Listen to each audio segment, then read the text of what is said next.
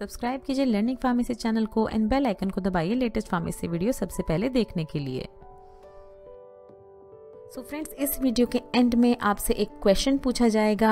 आपको उसका आंसर देना है, जिससे आपको पता चलेगा कि आपको ये वीडियो समझ में आई है या नहीं अच्छे से। आंसर आपको हमें कमेंट बॉक्स में बताना है, क्या है उस क्वेश्चन का। सो so इस वीडियो को प्लीज़ एंड तक अच्छे से ध्यान से सुने आप और जो क्वेश्चन पूछा जा रहा है, उसका आंसर दें हमें कमेंट बॉक्स में।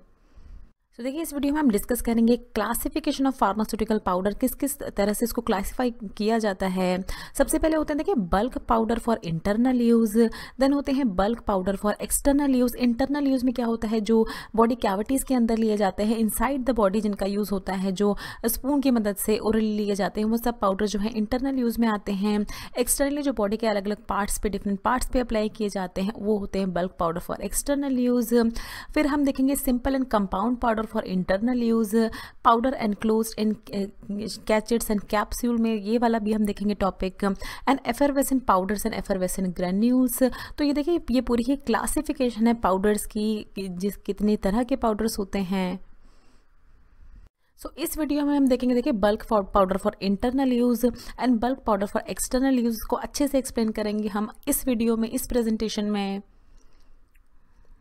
सबसे पहले आता है, देखिए bulk powder for internal use तो ये ऐसे पाउडर होते हैं जो कि बॉडी के इंटर बॉडी में इंटरनली लिए जाते हैं किसी स्पेसिफिक एक्शन के लिए. इसके क्या क्या पॉइंट्स डिस्कस करते हैं हम, देखिए. ये ऐसे पाउडर होते हैं जिनमें एक्यूरेसी ऑफ़ डोज जो है वो रिक्वायर्ड नहीं होती या इंपॉर्टेंट नहीं होती.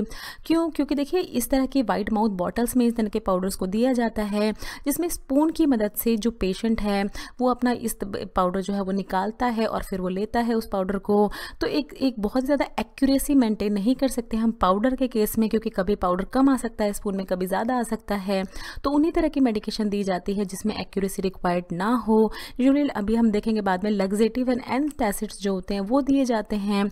इस तरह के पाउडर फॉर्म में देन फिर क्या है? देखिए, इस तरह के पाउडर की जो इंटरनल यूज़ पाउडर है, इनकी सेवरल डोसेस दी जाती हैं। मतलब एक ही डब्बे से बार बार जो है जो भी पेशेंट है जिसको ये दिए गए हैं, वो एक ही डब्बे से बार बार स्पून की मदद से पाउडर लेगा और उसको कंज्यूम करेगा। एंड देन फिर से जब भी उसका, उसको रिक्वायर्ड रिक्वायरमेंट हो, वो फिर से स्पून की मदद से इस पाउडर को इसमें से बॉटल में से निकालेगा। तो मतलब सेवरल डोज ऑफ़ पाउडर जो है, वो दिए जाते हैं। एक ही डब्बे में सेवरल डोज को डिस्पेंस किया जाता है। थर्ड पॉइंट है, देखिए वाइड माउथ बॉटल बॉटल्स में इनको डिस्पेंस किया जाता है, इस तरह की बॉटल में, जिससे स्पून जो है आसानी से इसमें जा सके पेशेंट जो है आसानी से पाउडर को निकाल सके और फिर उसको ले सके। That is by easy removal के लिए वाइट माउथ कंटेनर्स में दिया जाता है इनको।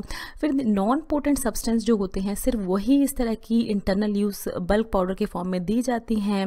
यूजुअली एंटासिड एंड लग्जेटिव जो होते हैं एंटासिड एसिडिटी को कंट्रोल करने के लिए एंड लग्जेटिव जो होते हैं बेसिकली कॉन्स्टिपेशन वगैरह जो है, उसको ट्रीट करने के लिए, जिससे कि ईजी बाउल मूवमेंट हो। इसके लिए इन दोनों तरह के पाउडर्स को इसमें दिया जाता है। इस तरह के फॉर्म में एग्ज़ाम्पल इसमें आपको बताया गया है रूबा पाउडर फिर देखिए second bulk powder for external use जो कि एक्सटर्नली अप्लाई किए जाते हैं, उनके बारे में देखते हैं। सबसे पहले है देखिए, ये bulk powder for external use जो होते हैं, ये नॉन पोटेंट सब्सटेंस होते हैं सेम जैसे हमने इंटरनल यूज़ में देखा था। नॉन पोटेंट मतलब इनकी डोसेज रिक्वायरमेंट बहुत ही स्पेसिफिक नहीं होती कि कितना अमाउंट में ये पाउडर जो है अप्लाई करना है स्किन पे तो that is why non potent होते हैं। सेकेंड है देखिए, इनको सप्लाई किया जाता है इन तरह के पाउडर्स को। कार्डबोर्ड ग्लास या प्लास्टिक कंटेनर्स में इस तरह के कंटेनर्स आपने देखे होंगे। होंगे। कभी कभी कार्डबोर्ड के भी बने होते हैं या ग्लास के भी होते हैं, जिसमें स्पेसिफिक मेथड ऑफ़ एप्लीकेशन के लिए जो बने होते हैं। स्पेसिफिक मेथड ऑफ़ एप्लीकेशन मतलब इनका इस तरह का ये टॉप जो है, ये सिफ्टेड टॉप कंटेनर देखिए नेक्स्ट पॉइंट है। परफोरेटेड या सिफ्टर टॉप कंटेनर्स होते हैं, जिसमें जिससे देखिए सिफ्टर टॉप में इस तरह के पोर्स प्रेजेंट होते हैं कंटेनर में, जिससे कि ईजिली जो है इनका रिमूवल हो सके, आसानी से जो है पेशेंट अप्लाई कर सके किसी भी बॉडी पार्ट पे। फिर bulk bulk powder for internal for external application जो है, देखिए फोर टाइप्स के होते हैं बेसिकली सबसे पहले होते हैं, देखिए डस्टिंग पाउडर फिर होते हैं इंसफिलेशंस स्नफ्स एंड डेंटिफ्रेजेस तो इनके बारे में हम डिस्कस करते हैं नेक्स्ट स्लाइड पे। सबसे पहले देखते हैं, देखिए डस्टिंग पाउडर्स के बारे में बहुत ही इंपॉर्टेंट टॉपिक है एग्ज़ाम पॉइंट ऑफ़ व्यू से। डस्टिंग पाउडर क्या होते हैं? देखिए पाउडर फॉर एक्सटर्नल एप्लीकेशन जो एक्सटर्नली लगाए जाते हैं और इन तरह के पाउडर जो होते हैं डस्टिंग पाउडर को उनको अप्लाई किया जाता है वेरी फाइन स्टेट में, जिससे कि लोकल इरीटेशन ना हो। इसका मतलब क्या है? देखिए, जो भी डस्टिंग पाउडर होते हैं, बहुत ही fine fine to very fine powder के कैटेगरी में आते हैं। अगर कोई भी पाउडर ताकि जब आप उसको स्किन पर लगाएँ तो किसी तरह, अगर आप कोर्स पाउडर को स्किन पर लगाएँगे तो वो इरीटेट कर सकते सकता है स्किन पे आपको वो डिस्कम्फर्ट कर सकता है बट इस तरह के जो डस्टिंग पाउडर होते हैं बहुत ही फाइन होते हैं। जब आप इसको स्किन पे लगाते हैं तो, तो एक तरह से स्किन में पूरी तरह से ये एब्जॉर्ब हो जाते हैं पूरी तरह से अच्छे से ये एक तरह से ट्रांसपेरेंट लेयर बना देते हैं। जिससे कि कोई तरह किसी तरह की इरीटेशन कॉज नहीं करते हैं स्किन पे। फिर ये डस्टिंग पाउडर जो है देखिए इनको पास किया जाता है सीव नंबर 80 टू 120 से जिससे कि इनकी इफेक्टिवनेस में एनहांस हो पाए ये और ज़्यादा फाइन स्टेट में आ पाए। दैट इज़ वह इनकी सीविंग की जाती है। फिर डस्टिंग डस्टिंग पाउडर जो है, देखिए टू टाइप्स के होते हैं। Medical dusting powder and surgical dusting powder medical dusting powder क्या होते हैं? देखिए, ये ऐसे पाउडर होते हैं जिनको सुपरफिशियल स्किन कंडीशंस पे अप्लाई किया जाता है। सुपरफिशियल स्किन कंडीशन देखा होगा, अपने कैंडिड पाउडर्स दिए जाते हैं ताकि अगर बॉडी पे किसी तरह की इरिटेशन है या किसी तरह का इन्फेक्शन हो गया फंगल इन्फेक्शन तो उसको, उस पर ये एक्सटर्नली अप्लाई करने के लिए दिए जाते हैं। सर्जिकल डस्टिंग पाउडर होते हैं। देखिए, ये ऐसे पाउडर होते हैं जो कि बॉडी कैविटीज़ में यूज़ किए जाते हैं।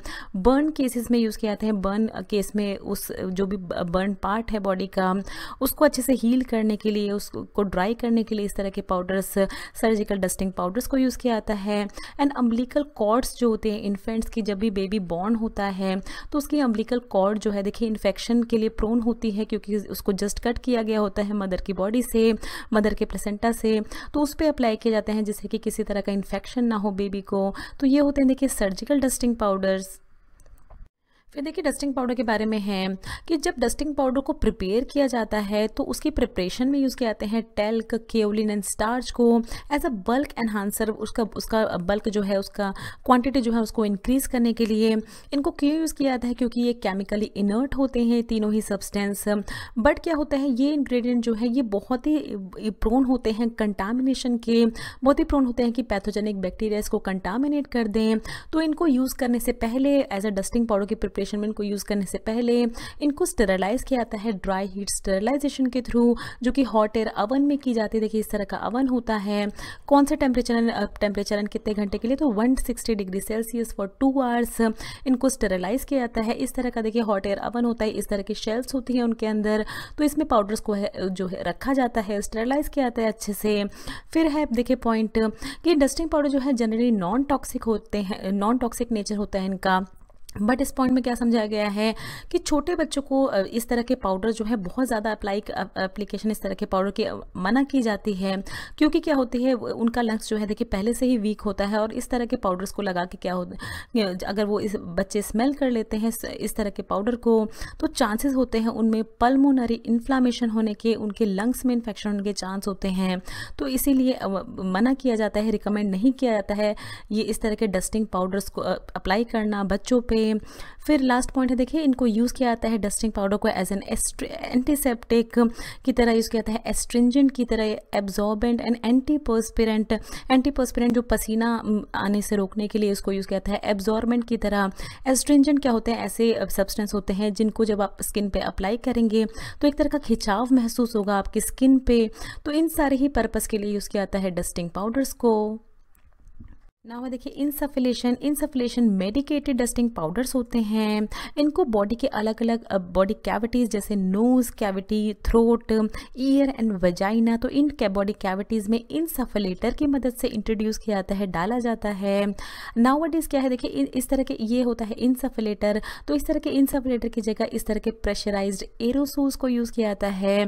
बॉडी के अलग अलग पार्ट्स में जो हमने देखा, देखिए nose throat ear and vagina में, इन तरह के medicated medicated dusting powder insufflations को एडमिनिस्टर करने के लिए और ये जो जो भी इसमें से ड्रग्स एडमिनिस्टर की जाती हैं बॉडी के डिफरेंट पार्ट्स में वो पोटेंट होती हैं। अभी तक हमने देखा था नॉन पोटेंट ड्रग जो है वो दी जा रही थी बट इस केस में पोटेंट ड्रग जो है वो एडमिनिस्टर की जाती है। इन सफलेशन के केस में इन सफलेशन जो है देखिए ये प्रोड्यूस करता है एक तरह का लोकल इफ़ेक्ट जब भी लो, लोकल इफ़ेक्ट में क्या है कि जब भी देखिए किसी फिजिशियन को ट्रीट करना हो बॉडी का कोई भी पार्ट जैसे ईयर नोज़ या थ्रोट इन्फेक्शन थ्रोट को ट्रीट करना हो तो एक तरह का लोकल इन्फेक्शन लोकल इफ़ेक्ट जो है ये प्रोड्यूस करता है। जैसे कि जो ड्रग है, उसको पूरा ही सिस्टमिक सर्कुलेशन के थ्रू जाने की ज़रूरत नहीं है।